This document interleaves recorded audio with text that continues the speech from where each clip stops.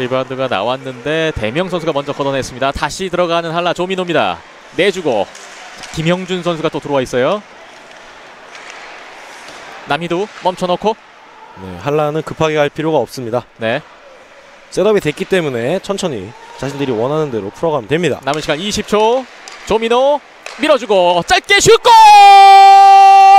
다시 앞서가는 안양 한라 신상우가 팀의 리드를 가져옵니다. 네, 완벽한 패스 플레이로 정말 대명 수비수들이 꼼짝도 할 수 없었어요.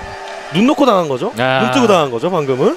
이번엔 뭐 정말 완벽한 패스워크로 인한 골이었고요. 조민호 그리고 마지막에 신상우의 피니시. 이게 파워플레이 상황에서는 그러니까 아무래도 상대 그러니까 PK 상황에서는 수, 플레이어 숫자가 적기 때문에 이런 식으로 인원 공백이 발생할 수밖에 없거든요. 네. 이 부분을 한라의 조민호 선수, 신상우 선수 그리고 안진휘 선수가 정말 절묘하게 잘 노렸습니다. 네. 지금도 문전 앞에서 신상우 선수를 온전히 마크하기가 어렵죠. 왜?